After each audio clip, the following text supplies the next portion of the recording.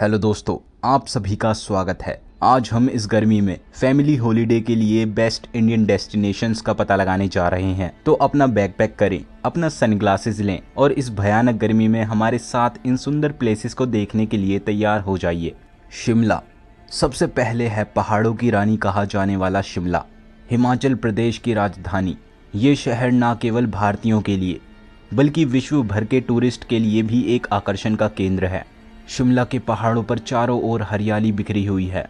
यहाँ की वादियाँ, जहाँ देखो वहाँ हरे भरे पेड़ पौधे और फूलों की खुशबू से महकती है। सर्दियों में शिमला के पहाड़ बर्फ़ से ढक जाते हैं, जो देखने में बहुत गजब लगते हैं। यहाँ के होटल, रेस्टोरेंट और शॉपिंग मॉल्स भी काफ़ी ज़्यादा अच्छे हैं। यहाँ की हवा में एक ताजगी है, जो आपको तरोताज़ा कर देगी। नेक्स्ट है मनाली, पहाड़ों में बसा ये शहर, स्वर्ग से कम नहीं है। पैराग्लाइडिंग से लेकर मंदिर में घूमने तक। मनाली में परिवार के सभी लोगों के लिए कुछ ना कुछ है। मनाली की खूबसूरती का हिस्सा है बर्फीले पहाड़। यहाँ के बर्फीले पहाड़ देखकर आप इनकी खूबसूरती में खो जाएँगे। ब्यास नदी। ब्यास नदी हिमाचल प्रदेश के रोहतांग दर्रे से निकलती है और पंजाब में सतलुज नदी में मिल जाती है। धार्मिक स्थल। मनाली में कई धार्मिक स्थल हैं, जैसे कि हदिम्बा मंदिर, वाशिष्ठ कुंड और गौरी शंकर मंदिर। नेक्स्ट है लेह लद्दाख।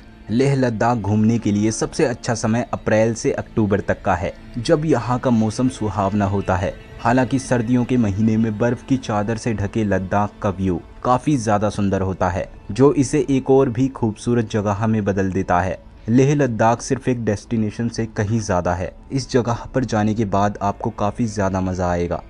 दार्जिलिंग, वेस्ट बंगाल। पश्चिम बंगाल का एक हिल स्टेशन है। जिसे अक्सर पहाड़ियों की रानी कहा जाता है। इस शहर के हरे भरे चाय के बागान आपको काफ़ी पसंद आएँगी, जो दुनिया के सभी कोनों से टूरिस्ट को अट्रैक्ट करती हैं।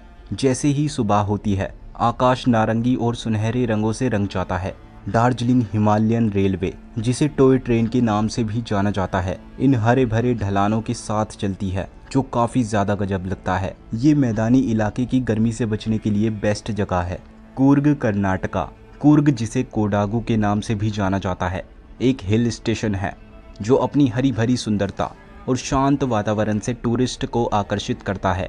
अक्सर भारत का स्कॉटलैंड कहे जाने वाला कुर्ग की ऊँची ऊँची पहाड़ियाँ, विशाल कॉफ़ी के बागान, शहरी जीवन की हलचल से एक ताजगी भरा आराम प्रदान करते हैं। कॉफ़ी बागानों में घूमना, न केवल आँखों के लिए बल्कि इंद्रियों के लिए भी एक अच्छा अनुभव है। कोर्ग कर्नाटक के कुछ सबसे खूबसूरत झरनों का भी घर है। ए बी फॉल्स एक शानदार झरना।